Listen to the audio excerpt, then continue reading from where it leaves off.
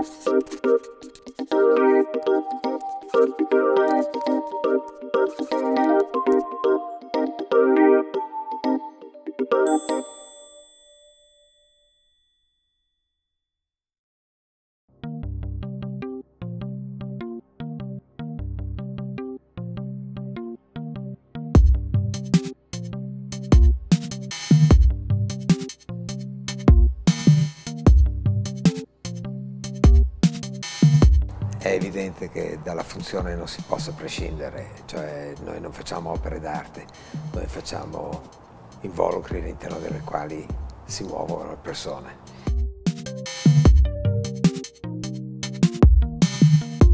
Ogni involucro edilizio deve essere contestualizzato, come diceva il grande critico Bruno Zevi, per analogia o per contrasto, Uh, gli esempi sono ormai correnti, da Gehry a Libeskind, che decontestualizzano, ma è una decontestualizzazione che porta a un processo evolutivo dell'architettura, cioè rendere vecchio e obsoleto l'esistente con un tracciato nuovo, logico, percorribile.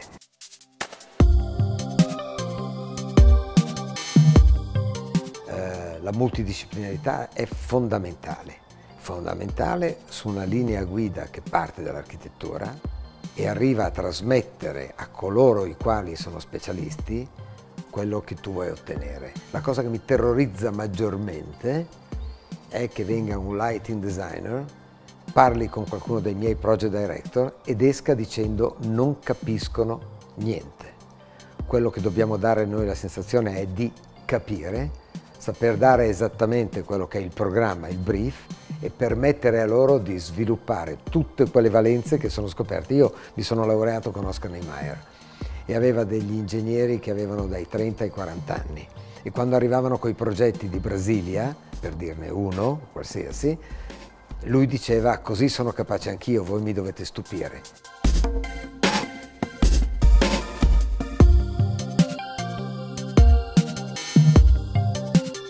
Il dogma zeviano si applica in oggetti di qualsiasi natura essi siano che abbiano una forma organica. Per organico si intende un prodotto che non ha simmetrie. Credo che una persona abbastanza organica sia in questo momento, per fare una citazione di un collega autorevole, un designer autorevole, Philip Stark, cioè dove l'improvvisazione, dove la materia viene strumentalizzata per creare una forte emozione sempre mantenendo la giusta funzione.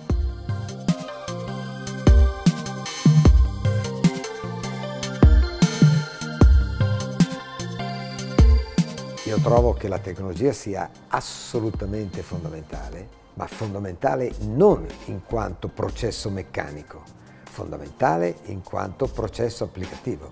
Il gesso, quando occorre il gesso, il calcestruzzo quando occorre il calcestruzzo, il ferro quando occorre il ferro, così come un grande direttore d'orchestra mischia i vari suoni per ottenere un risultato finale.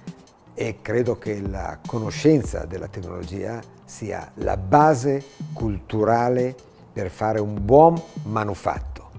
Fare vuol dire costruirlo, non concepirlo e non attraverso una modalità artistica e applicativa.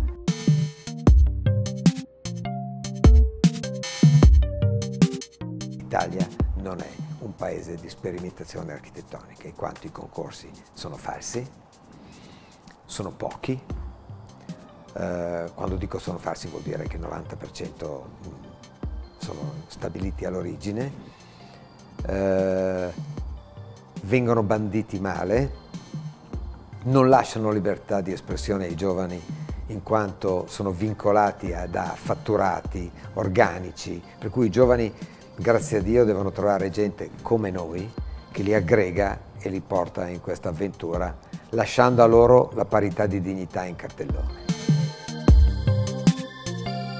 Parlerei di un'architettura in Italia che vive della globalizzazione, che crea esempi che crea emulazione, non copia e non, eh, mi lasci dire, imitazione. Io trovo che in questo momento l'Italia stia vivendo un'epoca straordinaria. Immagini che cosa è stato Rutelli quando, e poi Veltroni, quando prima come ministro della, dei beni culturali ha avuto il coraggio, dopo cento anni di immobilismo romano, che arriva fino alla fine dell'Ottocento con un'architettura straordinaria, insegna 2000 anni di storia, ha avuto il coraggio di firmare l'auditorium di Renzo Piano, eh, l'auditorium di Fuxas, la Rapacis, il Maxi di Zadid, Roma sarebbe ferma cento anni prima. Eh, non c'è neanche un'opera italiana tranne quella di Renzo Piano, Dio mi perdoni, ma credo che tutto abbia conferito qualche milione di turisti in più a Roma e la sua appartenenza alla, eh, al momento in cui viviamo all'attualizzazione. E credo che se oggi dovessi eh, immaginare qual è stato il gesto più plateale, quello a cui io sono particolarmente affezionato, anche se non mi piace parlarne di questo, ma devo rispondere a una domanda, è il grattacielo che abbiamo fatto per Abdi Ibrahim a Istanbul, perché, e qui c'è un minimo di autocelebrazione, eh, è, un, è, un, fiore che si vede in mezzo a una miriade di grattacieli anonimi. La più grande soddisfazione che mi è capitata è di avere presidente della fiera di Milano, Michele Perini, che mi dice sto passando davanti ai grattacieli ad Istanbul e il tuo l'ho riconosciuto immediatamente. Ecco, questo vuol dire eh, uscire dagli schemi della bottiglia o del bicchiere all'interno del quale si muovono le persone per immaginare che anche il grattacielo abbia un'anima, uno spirito, un cuore, delle coronarie, dei polmoni e tu riesci a identificarli all'interno di questa scatola. Credo che questo sia veramente premiante, ma il premio va prevalentemente al cliente. Un aforisma che abbiamo fatto nostro, che ha inventato uno straordinario statista, che era Winston Churchill, che in italiano traduceva, ma in inglese dice We shape our building, afterwards our building shape us.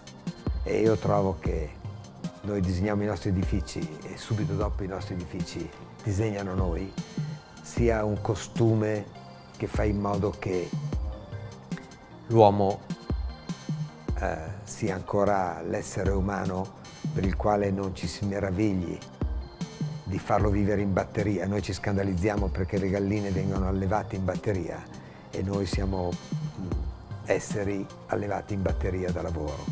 Eh, credo che il nostro contributo possa arrivare a questo ed è quello a cui noi ci sforziamo di arrivare ogni giorno.